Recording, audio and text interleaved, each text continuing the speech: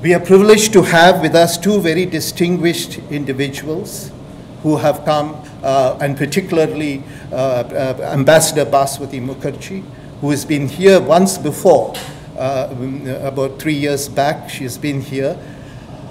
She has worked in the Ministry of External Affairs as an IFS officer in several divisions in several countries and she has been an ambassador uh, to, to, in uh, many different uh, to, very, to many different countries and she has been a high commissioner director on deputation to Geneva. She has been joint secretary Europe and she has been undersecretary disarmament. Uh, the portfolios that she has held are indeed uh, extensive, which bespeaks of her experience as a foreign uh, uh, service officer. And she's going to speak on cultural diplomacy and uh, India's soft power. The recent summit between our Honorable Prime Minister and uh, President Xi uh, of, uh, of China, People's Republic of China at Mamallapuram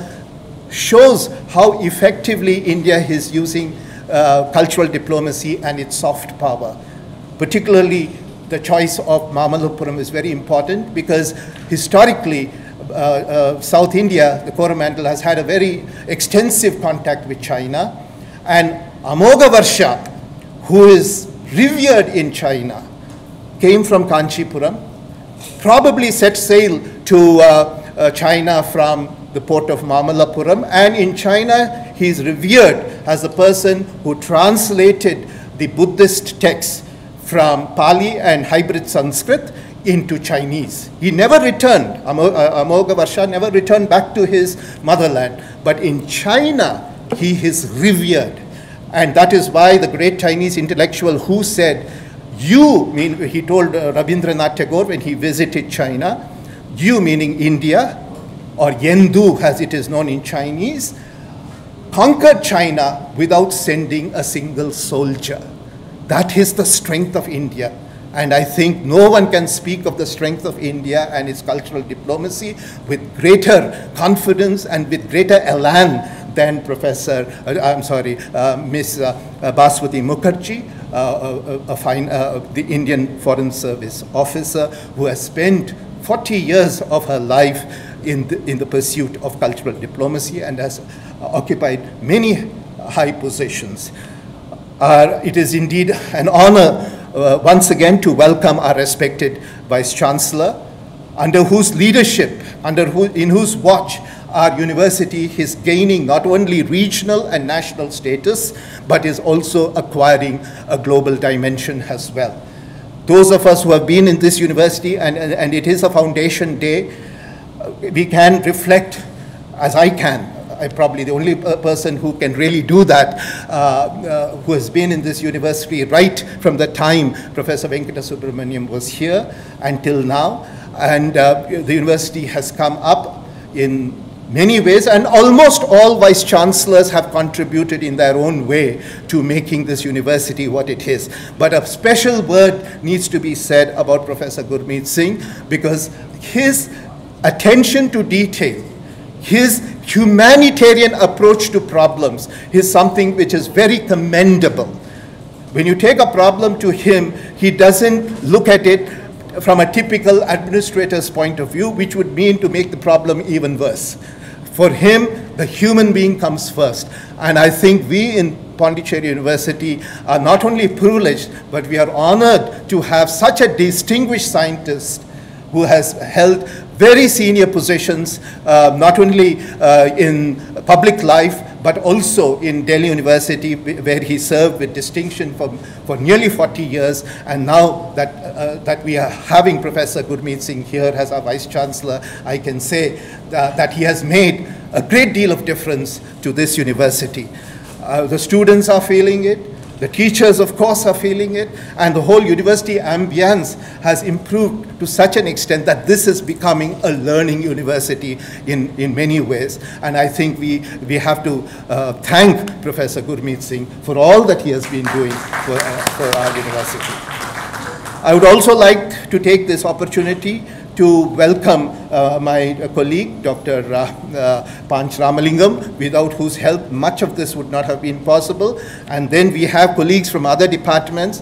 Uh, the head of the Department of Anthropology is here, Dr. Chelaperumal, Santosh Matthew, and a very distinguished academic in his own right, the, I, the director of IIT uh, Trishnapalli, Professor Bhimaraya Metri is here, uh, Professor Victor Anand, my uh, old and esteemed colleague, Professor Chandrika, and of course the uh, head of the Center of uh, South Asian Studies, Dr. Purushottam. I welcome each one of you and I'm sure we'll have a very, the, the text of her uh, lecture has been uh, uh, duplicated. We will have it distributed momentarily.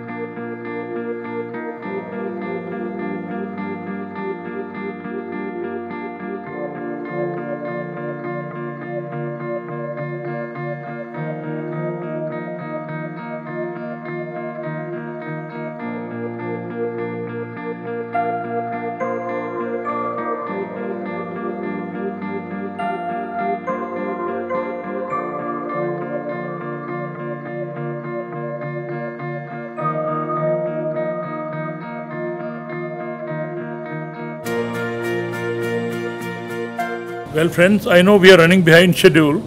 Uh, only thing I'll say is that I deem it a great honor to welcome a great personality like Ms. Bhaswati Mukherjee, who has served as an ambassador in uh, UNESCO. And during her tenure, in fact, she made a great effort in uh, declaring Auroville as a World Heritage Site. But then you understand the international pressures and the kind of politics that goes around she could not succeed in her endeavor, but I'm sure with her consistent effort, uh, this also would be achieved soon enough. But I take it as a great honor to welcome her here and uh, give a talk. The topic that has been chosen, I don't think there can be anybody better than Ms. Bhaswati Mukherjee because uh, she has been a student of history and I think she can give you the best perspective into this. And then she has served in uh, very many important positions uh, where she can, she has a lot of experience and she can throw the best possible uh, insight into this. I extend a very warm welcome to you from the core of my heart and uh, invite you over for your talk. Thank you. Thank you very much, uh, Honorable Vice Chancellor, uh, Professor Raghuvatam and all the other luminaries who are here. But most of all, all of you, the students who are being inflicted a second lecture in, in one morning, that's very difficult. So my sympathies are with you. I'll try and make the lecture as interesting as possible. It was actually a great pleasure to meet the Vice Chancellor. We have a common academic background. Uh, we both post-graduated in the same year. Uh, his daughter is an outstanding student of history from St. Stephen's College. And I was the first woman to be recruited to teach in St. Stephen's College history. And um, since my father, who came from a civil service background and was always bankrupt, told me that, you know, the teaching line in those days was not well paid. So he said, you better give the civil service exam and bring some bread home. So I obeyed his instructions, gave the exam while I was teaching in Stephens, did not tell the principal I was giving the exam because he had very strong views about teachers giving civil service exam. So I just pretended to be sick for five days and gave the exam. And somehow as a miracle I got foreign service. Uh, there were 32,000 people who gave the exam. I came fifth, so I was lucky. I got foreign service. And that was that. So uh, we do have a common background. That's why I asked him whether his daughter had also given foreign service exam, but she, he said that she had not done that. She's, she went into another uh, pursuit, professional and academic pursuit. So um, today is your uh, day for uh, commemorating and celebrating the fact that the university is where it is today. and this is my second visit.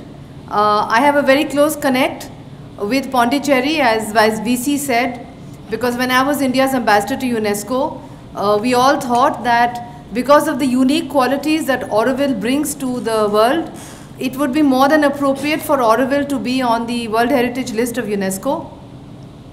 I brought the then DG UNESCO to Pondicherry and to Auroville, um, and we um, went through in, uh, in uh, January 2010. Uh, I brought her here, we went to Auroville, we spent the night there, but there was no agreement uh, among a few inmates of Auroville who are not Indian about whether Auroville should have World Heritage status because they felt that if it becomes a World Heritage site, it might lose some of its uniqueness. Well, that's a matter of dispute, I don't agree with them.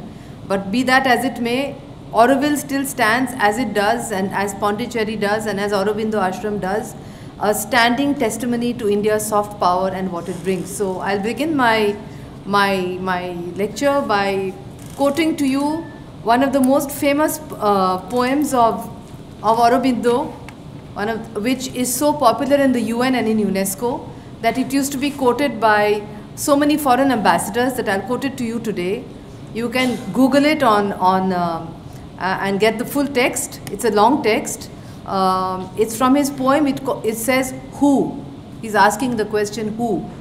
And it says, In the blue of the sky, in the green of the forest, who is the hand that has painted the glow?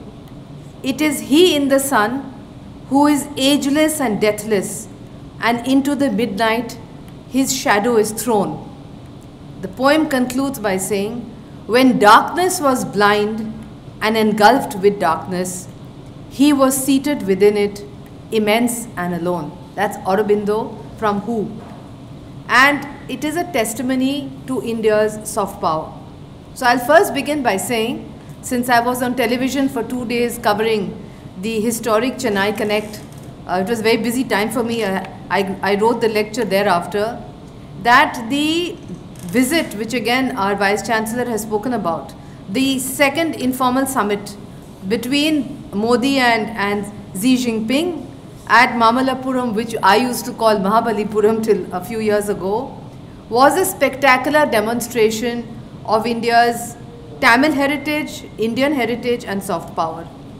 And the fact that the uh, Chinese president, the Chinese actually selected this site themselves and this has not been written about too much in the media, that the former Chinese ambassador to India, who is now their foreign minister, himself suggested this site to Prime Minister Modi, who immediately agreed.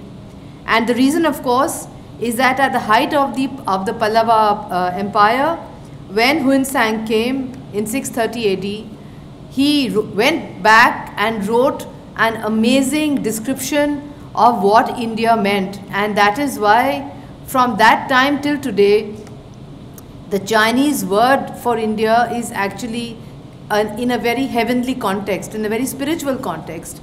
And therefore, despite the fact that many uh, disbelievers in, in Prime Minister Modi's foreign policy uh, have not understood the full potential of this summit, those of us who do understand that it's not just a cultural connect, it's a civilizational connect, it's also an acknowledgement by China of the power of India's soft power and that coming from a country that itself boasts about its own soft power uh, should not be underestimated that he came here, that he understood what India has to offer to the world. Let me then begin by saying that soft power for India begins with Vasudhaiva Kutumbakam and Vasudhaiva Kutumbakam is actually recognized in the UN today as the first definition of global citizenship. And global citizenship means that all individuals are collectively responsible for themselves, for their society, and for the universe. And that again is something that India has brought to, to the world this unique concept of global citizenship. We have tried to spread this, this message through our diaspora which is now overtaken the Chinese diaspora. We now have the world's largest diaspora. And cultural diplomacy can be practiced through the country's soft power and through its diaspora. And it can only be practiced if it becomes part and parcel of India's foreign policy. So, when I joined Foreign Service in 1976, that was the height of the Cold War, that was the, the, the effects of World War II were not yet over. We were still a poor and impoverished country in many ways. People understood foreign policy as a demonstration of hard power. But it is our Prime Minister Modi, of, of whom we are so proud, who reoriented Indian diplomacy by bringing in soft, soft power. And he speaks about soft power by going right back to India's heritage. He speaks about Samman, which is dignity, Samvad, which is dialogue, Samriddhi, which is shared prosperity, Suraksha, which is regional and global security, and Sanskriti, Evam Sabhyata, which is cultural and civilizational links. And he's taken all this from Sanskrit, and this goes back civilizationally to where it all began, which is in India's distant past and how we try to connect it with India's glorious present and future. Now, in his second term, PM Modi talks about India being the Vishwaguru, the world teacher. He talks about the, the aim to build an Asian century on Vikasvad, which is on development. And now we talk about the Chennai Connect, which seeks to join China and India and Asia in bringing this message of peace and, and soft power to the rest of the world. And in the pure foreign policy context, we seek to do so also through the Indian Council of Cultural Relations, whereby we try to join uh, our various neighbors and the outer world uh, by, by bonding culturally. And I understand that we have with us uh, students from, from SAARC, that's great. Uh, we've also tried to reach out to SAARC countries uh, through the ICCR and through our Cultural Connect uh, so that they too can join us in this journey of India's soft power and its connect with the rest of the world. Now, we've also tried to connect soft power with yoga and meditation and one of the greatest achievements of our Prime Minister soon after his election in 2014 was the recognition by the UN General Assembly in a vote where more than 192 countries supported this motion that there should be an International Day of Yoga. That is 21st June, which now several years down in 2018, 2019 is celebrated across the world. It's a very important uh, day for the entire world and yoga has really picked up and yoga is now understood not just spiritually but as a mechanism for meditation, for health, physical and, and, and otherwise. And in fact, in a, in a polluted world because of climate change, uh, the, the asanas and the, and the pranayam of yoga, which I practice myself every day, uh, is, is, as PM Modi said, an invaluable gift of India's ancient tradition because it embodies the unity of mind and body. It's not just about exercise, but to discover the oneness within yourself. And it also helps us to combat climate change. So, in a way, uh, India has also brought through our Prime Minister a unique mechanism to combat the evil influences of climate change because through yoga you can actually de uh, develop strength, inner strength uh, through breathing exercises, etc., to combat pollution, etc. So, let me then move to uh, the various other circuits that we have developed uh, to, to uh, connect people through soft power. Religious tourism is one of them. So, we've developed the Buddhist circuit, uh, which many of our friends here from SAARC countries would recognize. Uh, we have tried to join uh, countries that, that uh, follow Buddhism together in a circuit through stupas, stupas and ancient monasteries, Buddhist chants, etc. And the, to show that how much India honors uh, the memory of Gautam Buddha, who actually originated in this part of the world before Buddhism spread outwards across the Indian Ocean uh, to the Far East, etc. And uh, to explain to those who understand what is the message of Buddha, which is also a message of peace, no conflict, no suffering. Uh, don't forget that even in China, uh, Buddha is recognized as the master of Zen, the Zen master. So, all over the Far East and China and Japan, etc. We've also developed, uh, we are developing the Ramayan circuit, in May 2018, our Prime Minister inaugurated with his Nepalese counterpart a joint bus service which would join Janakpur and Ayodhya. We, have, we are developing 15 de uh, destinations under the Ramayan circuit and which will bring together all this, the concerned ancient uh, and modern cities, Ayodhya, Nandigram, etc. in Uttar Pradesh, in Madhya Pradesh, Buxar, and in Chhattisgarh, uh, Jagdalpur, Mahendragiri in Orissa, Nashik and Nagpur in Maharashtra, and then you have the Bhadrachalam in Telangana, Hampi in Karnataka, which is the most amazing place. It's also UNESCO World Heritage Site. And Rameshwaram, another amazing place in Tamil Nadu, are going to be joined together in this, in this Ramayan circuit.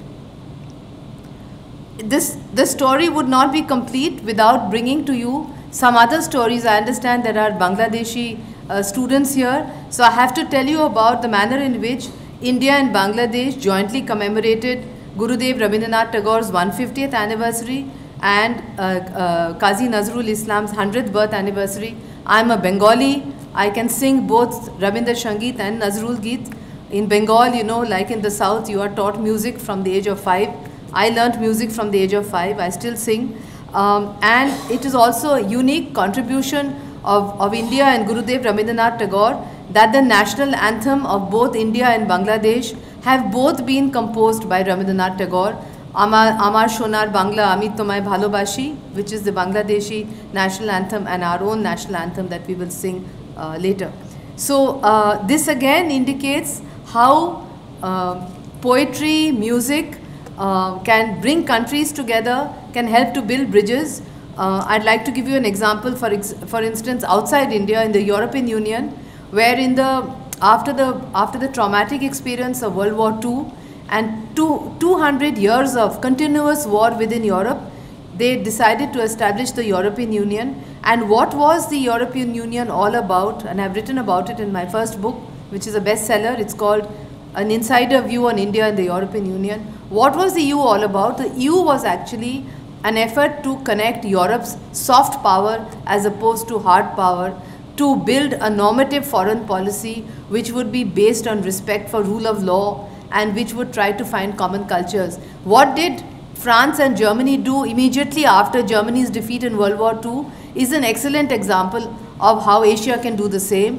They had exchange students who would go from Germany to France to learn French to go from French to France to Germany to learn German and to appreciate each other's culture and to find common roots and common bonds. And today, who is the driver of the, of the European Union? It is the Franco-German combined. So people often forget that there were these two horrendous wars which almost destroyed Germany and which if Germany had not been defeated would have destroyed European civilization. And today if you look at them, they are the best of friends, again due to soft power and cultural diplomacy. I, I must also tell you that there are several kinds of soft power. Uh, you have the tangible heritage of India, which is so evident in the glorious temples and, and monasteries and the Taj Mahal. But you also have very important aspect of soft power, which is our intangible cultural heritage, which is so powerful in, in Asia and South Asia, what is this intangible cultural heritage? It includes Vedic chanting, it includes Kathakali, it includes our cuisine, it includes many, many issues or many, many links on which our culture is based because it is also very important for all of you to understand that Indian culture is also based on oral traditions. And when the, the British came to colonize us, one of the first things they did to denigrate and to undermine our self-confidence and our culture was to question our history by saying, where is the proof? Because European positivism of the 19th century demanded proof. We were asked to prove that Harappa existed. We were asked to prove that Indus Valley civilization existed. We were asked to prove where is it? Where is the, where are the Vedas? Who said that the Vedas are actually existing testimonial to India's great past? So we had to do all that because in those days, oral traditions, as exists in Asia, in Africa, and in the Arab countries, of traditions passed on by voice of mouth from father to son through generations, through centuries, was not accepted in those days, unfortunately, in those colonial times, as an indication of, an in, of a country's strong, great civilizational and cultural roots. So, I say all this because I want you all to understand that culture is something which is a, a living thing. It cannot exist if you people put it in a box and worship it from outside. Culture has to be inside all of you, particularly the young people. If you don't nurture that culture, 100 years from now, it will be dead. So it is very important when we talk of cultural diplomacy and soft power to an audience of young people like you, it's no use if people like me, practitioners of diplomacy of 40 years, talk to you of culture. You must absorb what I am saying, you must understand and appreciate that culture, and you must, in your turn, 40 years down the road, tell another young audience like, like all of you today about this culture so that it remains a living culture. Let me then come to what was, how did this culture originate and what are the boundaries of this culture. You must understand, all of you, that as far as Indian culture is concerned, there are no boundaries, territorial boundaries to this culture because for many, many years, for many, many centuries, this culture originating in India then moved outwards. So it began many centuries ago when Buddhism left the shores of India to go into, into Asia and the Far East, Southeast Asia and the Far East. It also, we, with that, we also spread our, our language, our Sanskrit language, our cultural norms, our music, our dance, etc. So today, for instance, if you go to Indonesia and somebody says Sukarno Putri, what is Sukarna Putri but daughter of Sukarno? If you go to the Priya Vihar, what is Priya Vihar but temple of love? If you go to Angkor Wat, you will find Indians working there to restore the ruins. If you, all over Southeast Asia, China and Japan, you will find living symbols of that culture which we spread. Therefore, for me to tell you that India's territorial boundaries confine our culture would be wrong. You go to Bali, which is a, which is a jewel, which I visited as India's ambassador to UNESCO, and they told me Bali belongs to a predominantly Muslim country the world's largest Muslim population is in Indonesia, followed by India, 180 million Muslims. And they said Bali has never ever been touched by a, a storm, a hurricane. That's amazing. In all these centuries, it is like a jewel. And if you go there, you'll find that the people of Bali practice the ancient Vedic religion where food is kept out every, every day, every night to feed the ancestor. That is the way it used to be practiced in the Vedic times. That religion, that old Hindu religion, is still practiced in Bali now if you go and visit Bali. And that is again, again an example of India's cultural connect and soft power. I would then like to uh, bring you through the ancient Indian period, which was the glorious period. It followed, of course, as I said, we had Harappa, we had the Indus Valley civilization, we had 200 years of, the, of no monsoon rain, which is why the Indus Valley civilization and the Harappan culture, a very, very um, extensive urban culture based on modern irrigation, water harvesting, canals, seals, a very complex language which has not yet been deciphered till today, then moved to the, to the fertile uh, shores of the Ganges where developed some hundreds of years later the great Ganges civilization and then we had thousand years of the glorious Hindu period where we had these wonderful temples, etc. India was a rich country.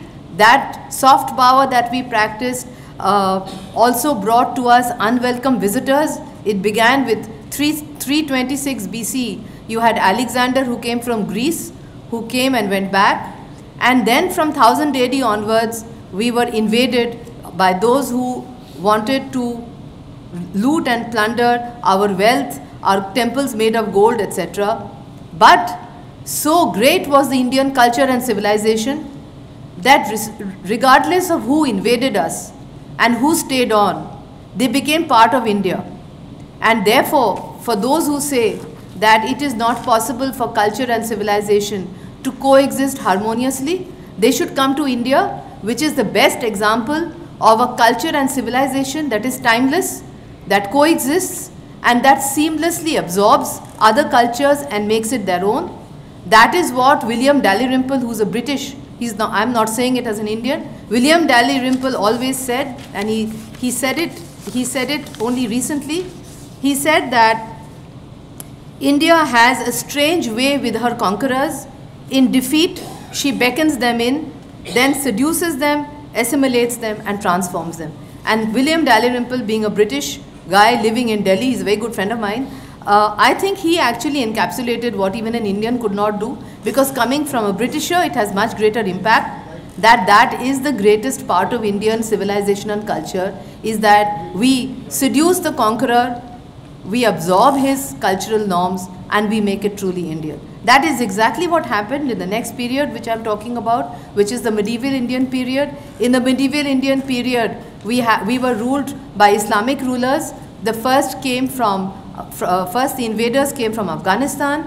You had Mahmud of Ghazni. Then you had the slave dynasty. This was a strange mixture, but very interesting mixture of Turks and freed, freed Abyssinian slaves. Abyssinia is the old word for Ethiopia. So these were black Muslims and white Muslims. They established the slave dynasty. They built the Qutub Minar in Delhi, which is just behind where I live.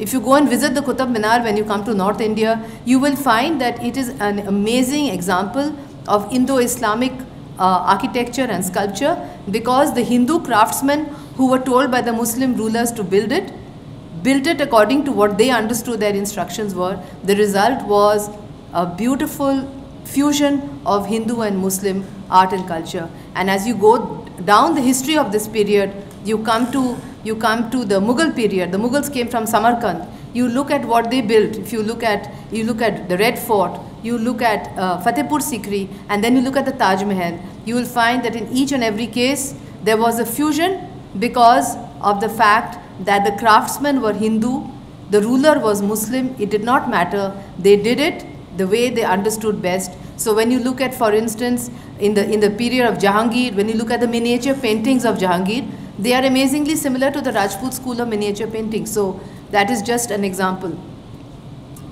Then we come to another unique contribution, historical contribution of India's soft power, which is the development of, of the Bhakti and the Sufi movement. And where else would you find in a country, but when Kabir died, his followers could not agree as to what his religion was. Some wanted to bury him, some wanted to cremate him because of what Kabir himself said. He said, I am neither a Hindu nor a Muslim. Allah and Ram is the breadth of my body.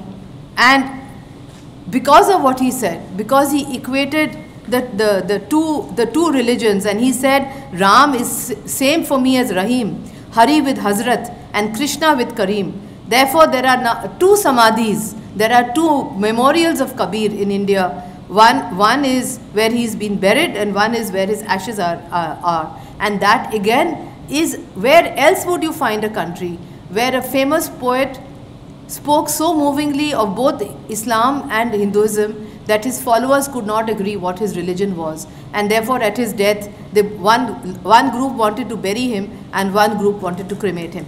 Let me then move to the modern period because I, I would like to leave some time for questions and to say that our heritage, our world heritage is also recognized. I'll just give you one example.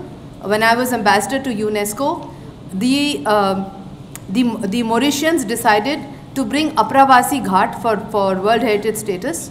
Apravasi Ghat is the place where the 1.5 million indentured labor from India who moved, who were moved across the Indian Ocean because the slavery had been abolished the sugar plantations fell silent. Bonded labor was a, solution to the colonialist. The bonded labor was never told what was going to happen to them. This was the time of famine in India because the British had stopped the, the, the Indian peasant from growing food. In a very fertile part of India, they were forced to grow opium instead of food.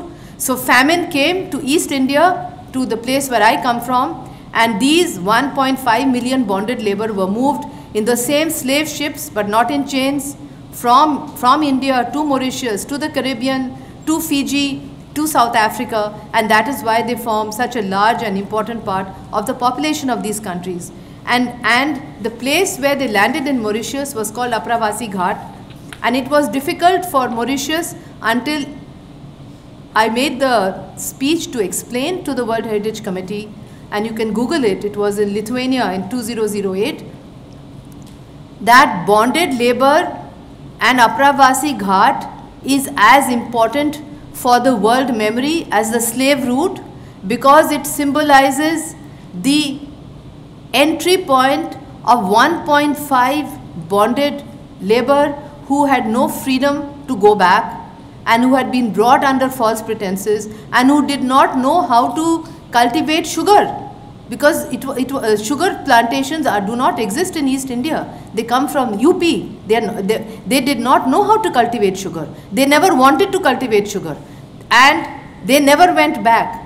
And so these 1.5 million souls hung on to their culture. So if you go to the, to the museum in, uh, in Mauritius, you will find one man's Quran, one man's Ramayan, the sari, the lota, the Bhojpuri language, which they never abandoned because they always exercised the hope that one day they will go back to Mother India. So again, that's a very moving example of what soft power means to our people and what soft power means to the world. So I am going to uh, end here to take questions, but I'd just like to end by saying that in the same program that the External Affairs Ministry conducts, which brings me here, I've gone to Shantiniketan twice, to Vishwabharati University founded by Tagore.